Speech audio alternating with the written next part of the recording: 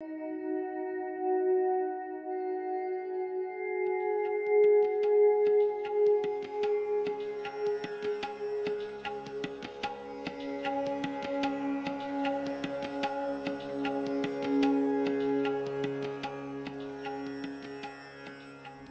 मैं ज्योतिष आचार्य गिरीश शर्मा, पंडित श्री गिरीश शर्मा, प्राचीन शिव मंदिर, जल विहार, लाजपत नगर वन से। आज आपको दिल्ली के लाजपत नगर वन में जल विहार में जो स्थित प्राचीन शिव मंदिर है, उसके बारे में थोड़ी सी हम आपको जानकारी देंगे, जिससे कि आपको पता लगे कि ये पांडव कालीन मंदिर है और लाजपत नगर में स्थित है। बहुत लोगों को इसके बारे में मालूम नहीं है, लेकिन बहुत सारे लोग इसको जानते भी हैं, जो आसपास के हमारे एरिए के हैं।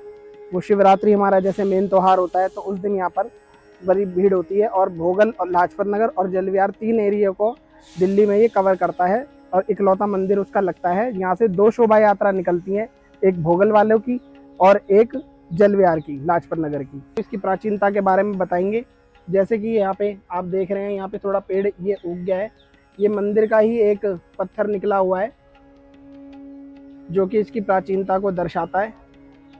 उस टाइम का ये बहुत प्राचीन है, जिसका अंदाज़ा लगाया नहीं जा सकता। यहाँ पर कुआ बना हुआ है, बहुत प्राचीन है ये। जब का ये मंदिर है तभी का ये कुआ यहाँ पे बना हुआ है। लोग इसकी पूजा वगैरह यहाँ पे करते हैं आकर। चलो अब हम आपको मंदिर का दर्शन कराते हैं। आ जाइए।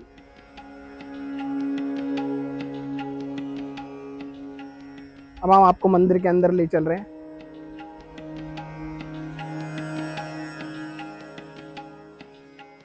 दिल्ली के ये चार धामों में से आता है। जैसे कि आपका पुराना किला के पीछे भैरव मंदिर है। एक हमारा ये प्राचीन शिव मंदिर। फिर उसके बाद कालका मंदिर और गौरी शंकर मंदिर।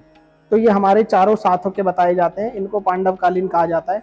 ये शिवलिंग जो है, इसको देखेंगे आप तो इसके दो कलर हैं। ऊपर से ये ब्राउन है और नीचे से ग्रे है, जो नेचुरल में अपने आप प्रकट है। इसको स्वयंभू बोलते हैं। ऐसा शिवलिंग पूरी दिल्ली में कहीं नहीं है। आप इसको दिखाइए, आइए।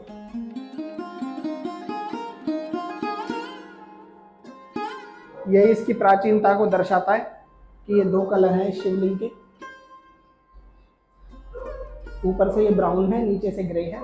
ये शिवलिंग सबसे प्राचीन है पांडव कालीन इसको कहा जाता है। बाकी मूर्तियाँ बाद में स्थापित हुई थी। तो हमारी चौथी पीढ़ी है इस मंदिर पे। हमारे परदादा जी आए थे इधर सन सैतालीस में। तो उसके बाद से उन्होंने यहाँ पे पूजा सेवा करी। उसके बाद हमारे दादाजी को स्थान मिला। उसके बाद पिताजी हमारे अभी 2021 में पूरे हो गए हैं कोरोना के समय में। और उसके चौथी पीढ़ी, उसके बाद हम हैं अभी इस चौथी पीढ़ी पे। और पांचवी पीढ़ी हमारी तैयार है हमारे बच्चे वगैरह। तो इसी तरह पीढ़ी दर पीढ़ी हम भोले बाबा की सेवा करते आ रहे हैं।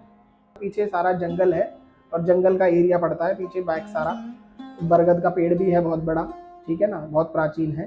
तो वहाँ से कभी कभी जैसे सावन का महीना अब शुरू होगा तो नाग नागिन आते हैं और लिपटे भी देखे गए हैं शिव, शिवलिंग पर।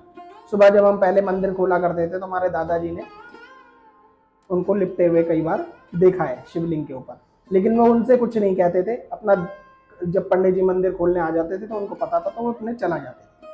और पहले तो जब हमारे परदादा जी इधर आए थे तो बहुत सारे नाग नागिन या उनके पैरों में ही लिपटा करते थे।